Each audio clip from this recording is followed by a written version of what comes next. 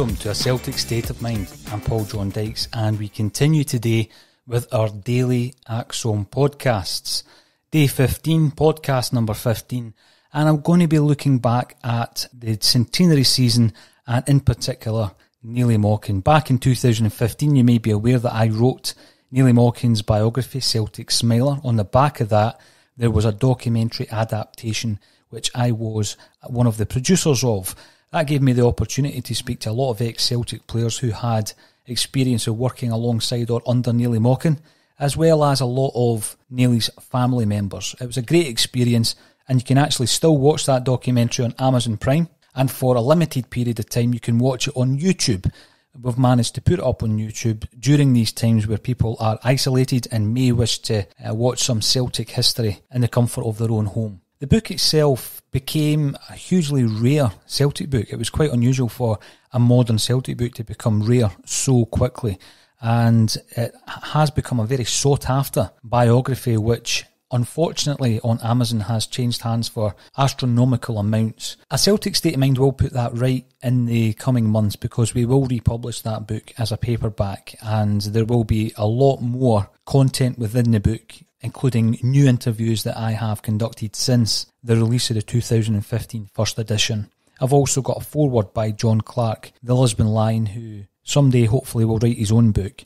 Version 2 of that book, which is about 30,000 words more than the original, is now available as a PDF. All you need to do is get in touch on my Twitter page and tell me that you wish a copy of that book and I'll email it out to you. When we finally get round to publishing the updated version, it will be fully updated from the PDF version, so you're getting an unreleased version of that particular book. One thing I quickly realised when I was writing books is that the interviews you actually do for them are more or less put in a vault and never seen again. One or two paragraphs or anecdotes from the interviews make it into the book. The rest of the material, which is highly intriguing and amusing, lies in a vault, never to be heard again. And that actually was one of the reasons for starting a podcast, to get the full interviews with these figures out there for Celtic fans to enjoy. There are quite a few of the interviews that I did for the Neilly Mochan documentary, which I'm going to tap into for a series of podcasts on Neilly. The first one is focusing on that memorable centenary season, and I'll be speaking to Celtic striker Andy Walker, who we bought from Motherwell that year and who went on to be our top goal scorer. He enjoyed two spells at the club and got to know Neilly Mochan very well. What are your memories of joining Celtic in 1987 and what was Neilly's role at that point? I've got fabulous memories of uh, coming to Celtic. It was July '87, and uh, I'd pretty much been tapped up with Celtic because my old man had been in contact with one of the one of the directors, uh, Jim Farrell, and I was at Motherwell at the time, and he'd approached my old man around February. Would your son be interested in coming to Celtic? And my dad didn't tell me until we were knocked out of the Scottish Cup. We had a pretty decent year that year at Motherwell, and we got knocked out, I think, in the quarterfinals with Dundee United. And then my old man said, um, told me that Celtic were going to come and get you in the summer. And uh, I played the last few months at Motherwell uh, with just a huge smile on my face because the prospect of going and signing for Celtic was just fabulous. And yeah, I've got to say, I was a bit starstruck because when I went into uh, a new dressing room at Celtic, Celtic or my team. I'm one of eleven children. There's seven boys in our in our house, and my old man took us to games since I was five, six years old. Um, so some of our best memories as a family are, you know, jumping over the gate and going to see Celtic in big games against Rangers, big games in Europe, semi-finals at Hampden, uh, cup finals at Hampden my uh, childhood memories are full uh, of all that. In fact, Big Billy's last game, uh, 75 Cup final against Airdrie, it was one of the first big games that I was at. I was only 10 years old. So um, my whole childhood was dominated by fabulous Celtic memories. So to go into a dressing room where not only was Big Billy the manager, um, but I was pretty much playing alongside some of my heroes, Paul McStay, uh, who was the same age as me, but I'd been watching him play for Celtic for two, three years. Um, Roy Aitken, Pat Bonner, Tommy Burns, some fabulous names that uh, uh, have been at Celtic for, for so long and had played in successful teams, and that was all I was interested in. I just wanted to be part of the team and part of a team that had success. And I know Billy took me aside when he signed me, he said, "Look, I'm not going to make a big splash about you signing. I think they paid about 350, 400 grand, and." Um, he said, Look, uh, Davy Provan is retiring, so we're going to announce that, and I'm also going to announce the signing of Billy Stark. And that should take the pressure off you, and then I'll bring you in. And um, and I, I, remember it as if it was yesterday because it was fabulous. So I'd, I'd three years at Motherwell, and actually I was getting married that year. So uh, my wife was really happy because I signed for Celtic.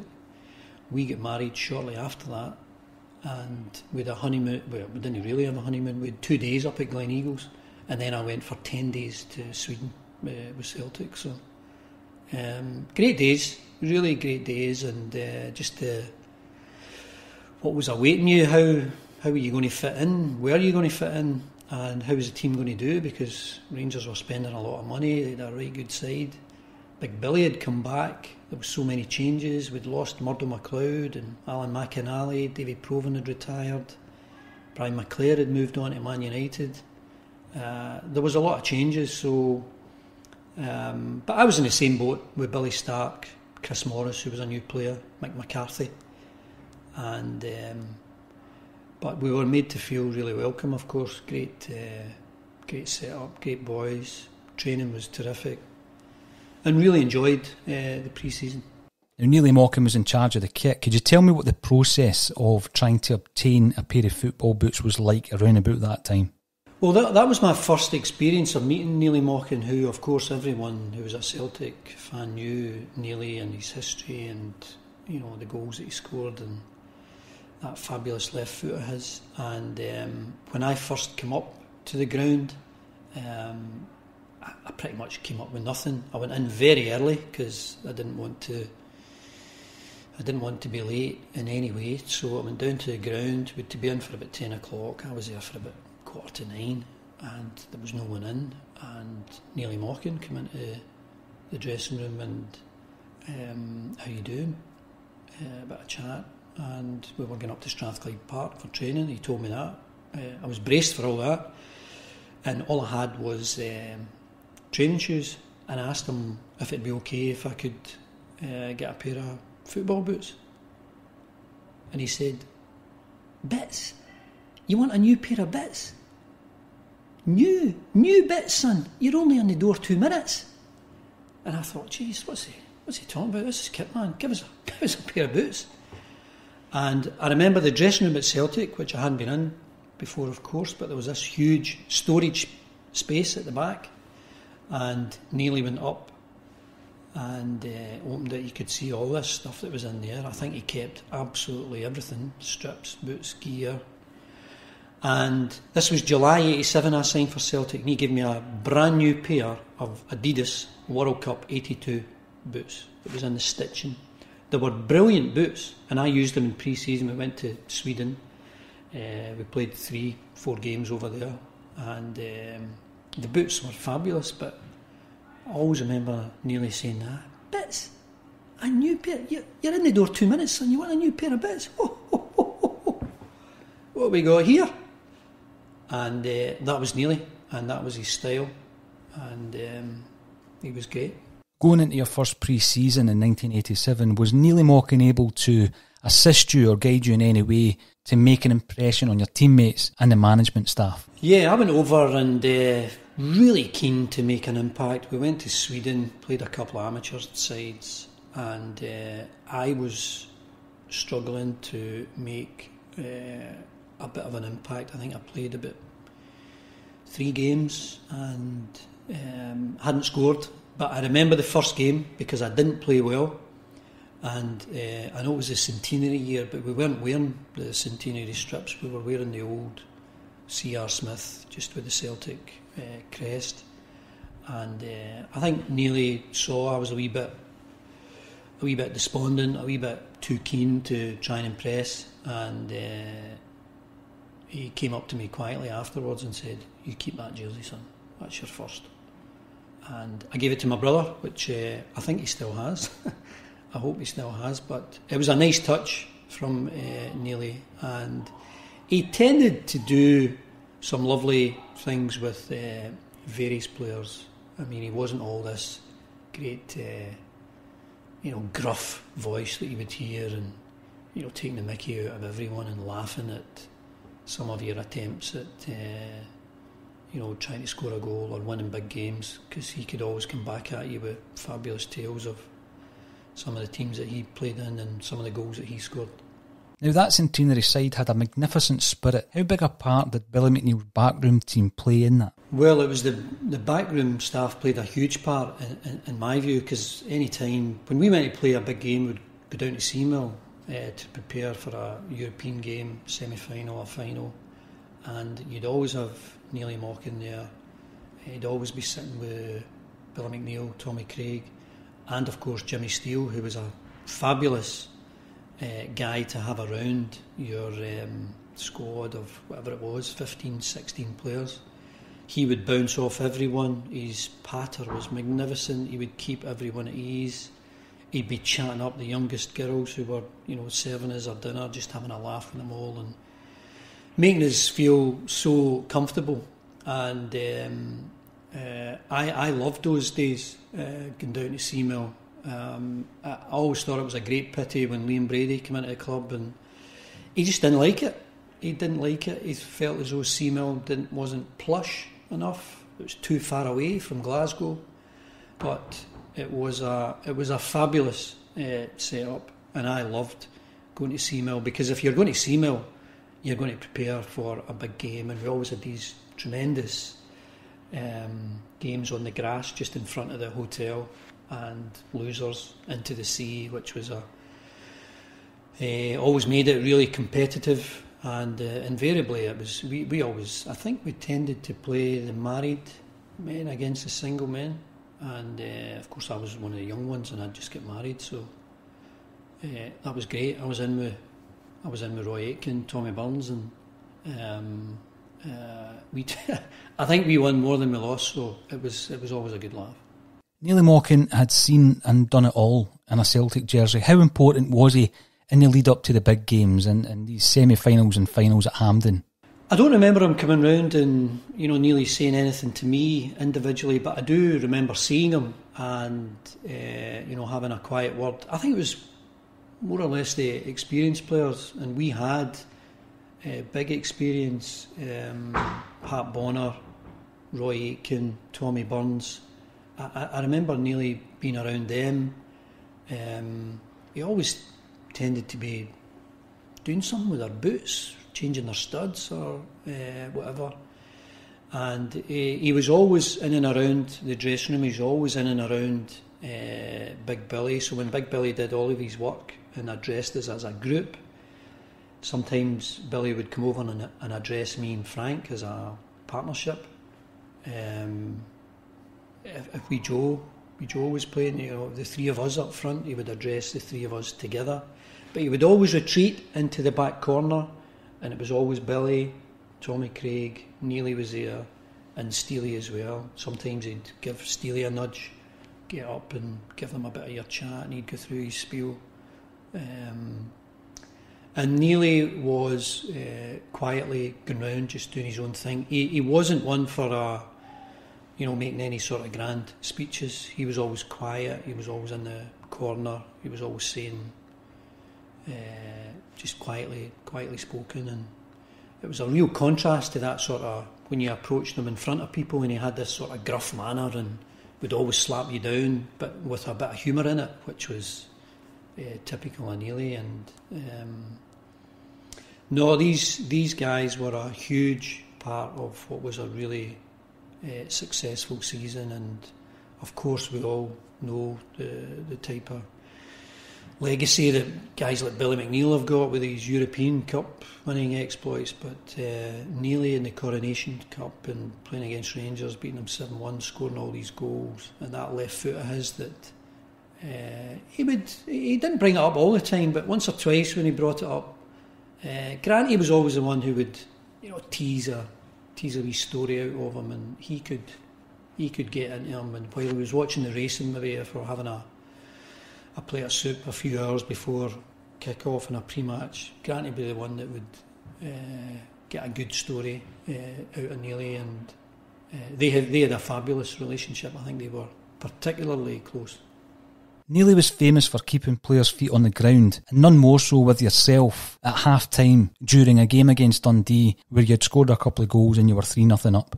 Well, it's one of the. It's my favourite story about uh, Neilly, and just summed him up uh, to a T. And uh, I, I, was so keen to make an impression early on and be part of a successful team, and just look as though I deserve to be here because my first game at Celtic Park hadn't gone well. We'd been hammered by Arsenal five one.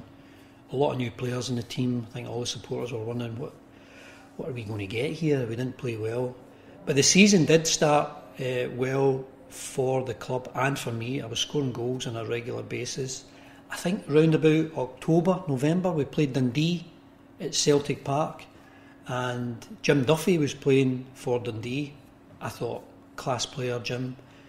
And I'd made a really good start to the game. I'd scored two goals in the first 10 minutes. We came in at half time, we were 3 0 up.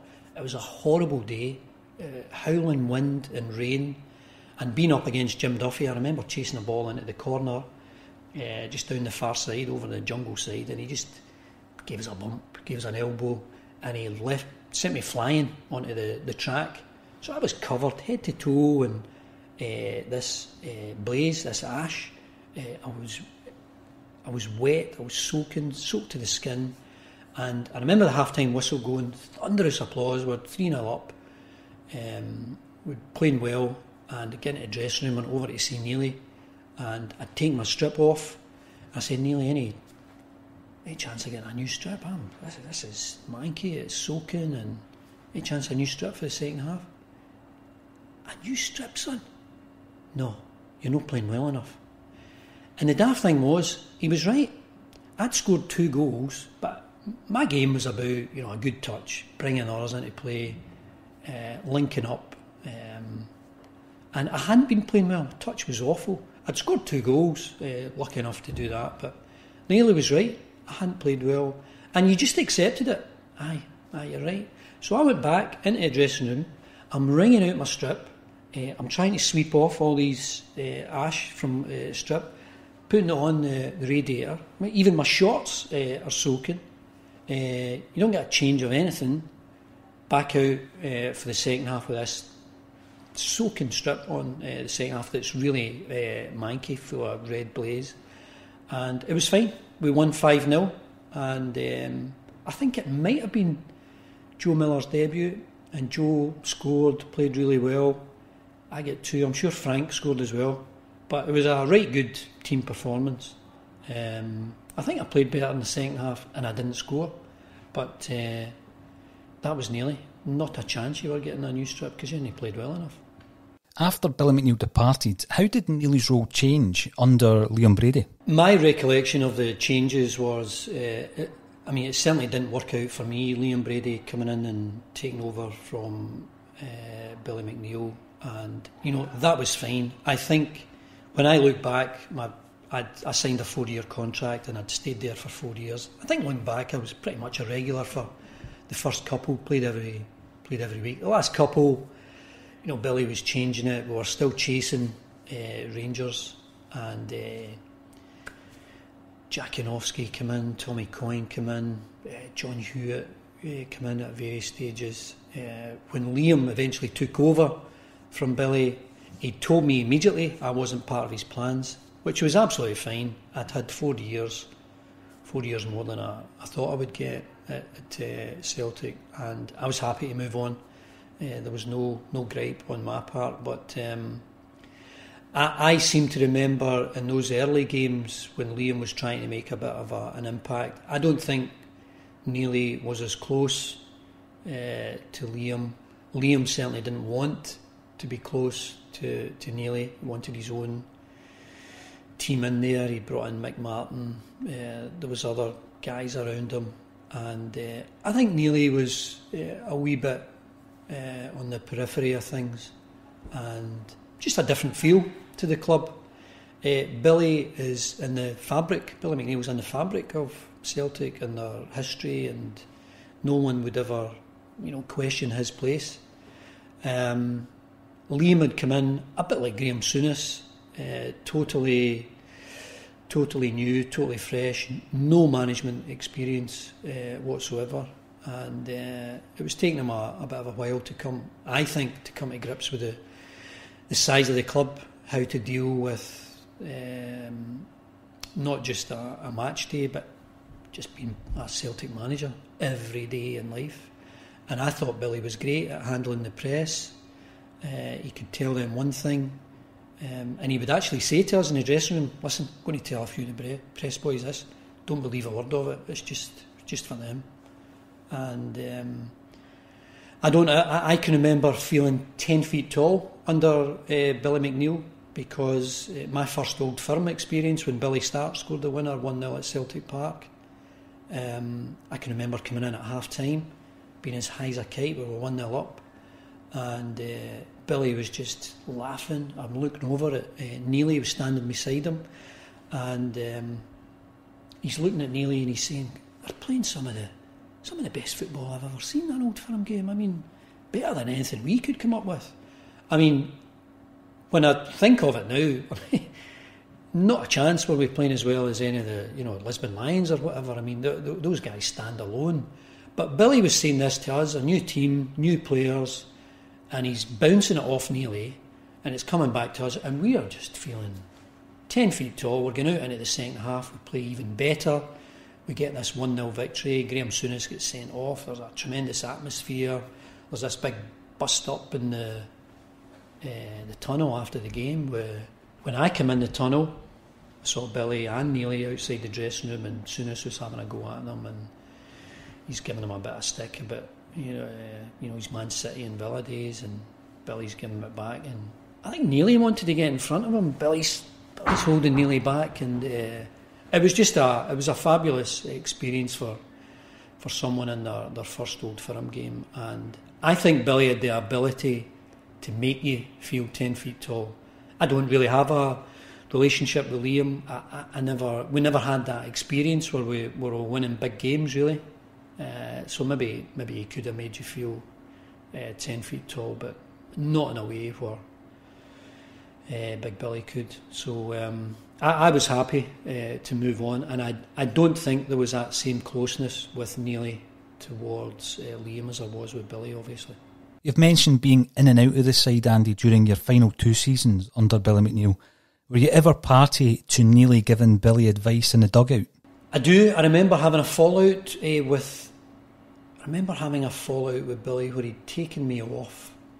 Um, I think it was against uh, Dundee United, and we lost the game one 0 and I was I was getting the hump because I felt as though he'd been taking me off far too much in recent weeks, and I said to him, "Is that the only number you've you've got there, number 10, is that the only number you hold on you to make a change?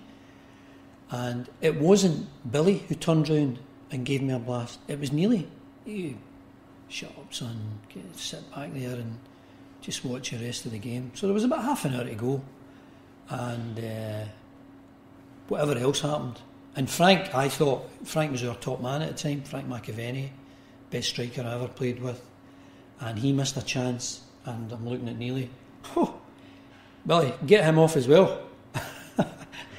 and this was in the midst of a game, and you know, and Billy's throwing his throwing something to the ground, and you know, Neilly's winding him up to say, "Oh, get him off." I always remember the story Frank tells me about the time he, think he'd scored four goals against Morton at uh, Cappielow, and Neilly saying, "Hey, get him off," because he didn't want he didn't want him to get the five goals that uh, Neilly had scored uh, in his time. I don't think Frank had taken off. I think he says he did, but I don't think Billy uh, took him off. Um, but uh, no, these were all. Uh, th- this was all part of uh, Billy's management style. There were the dugouts, if you remember, at Celtic Park, very low.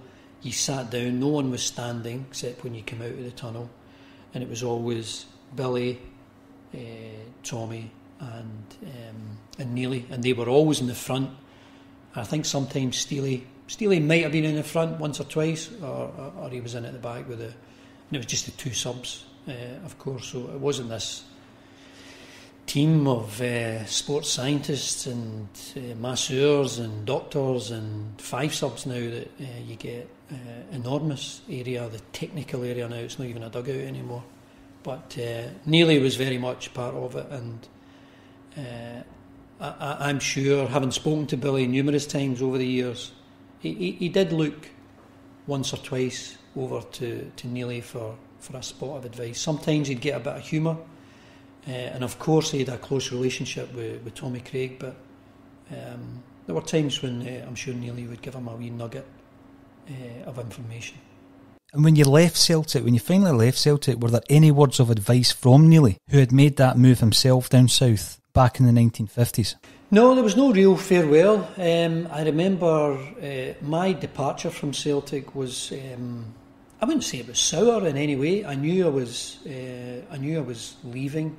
Uh, there was a daft story about you know Liam Brady, who was actually when he when he came into the club, he said, "Look, Andy, you're not going to be part of my team, and you know if you can get yourself a club, you know move on, and that'll be it." And um, I think when I left, players weren't moving as freely as they once were. A lot of clubs were spending money on the, their ground. The Taylor Porter had come in after the Hillsborough stuff. They were still spending money on doing up their ground and um, there was an offer for me to go back to Motherwell, to Tommy McLean. I didn't want to go back to Motherwell. There was another offer in from Falkirk under Jim Jeffries. It was, I think it was about 150 grand.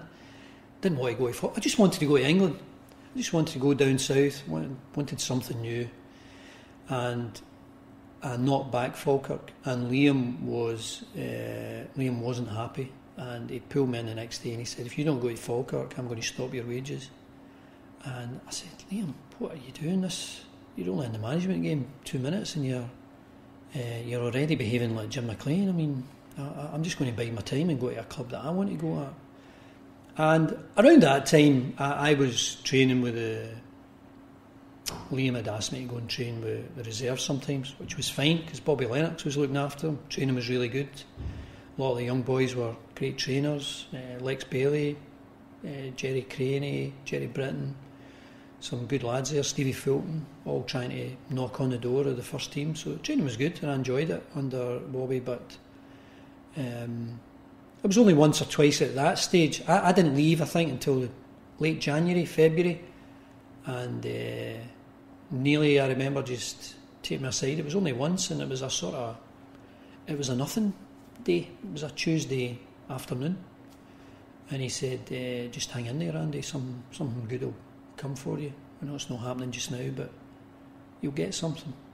And uh, there was nothing gruff in his voice. There was no humour in it. It was just a moment where, you know, I think he maybe felt as though I was banging my head against a brick wall trying to get away, and uh, Neilly saw it. And uh, just a nice touch. He was a he, he was a mixture of, of everything, uh, Neilly. And when I came back to the club, 94 I came back for a couple of years and that was when I realised he had leukemia and I remember being pre-season we were over in Dublin I think over in Ireland and I mentioned that I could see Neilly still doing what he was doing after the game because all the strips would would take our gear off we'd put it on the uh, on the dressing room floor. And Neilly of course was going around and he's picking everything up. And I saw some of the young boys that were there and they were doing nothing. And hey guys, come on, Got Neilly a hand, and mentioned it to Paul, uh, who was the captain, of course,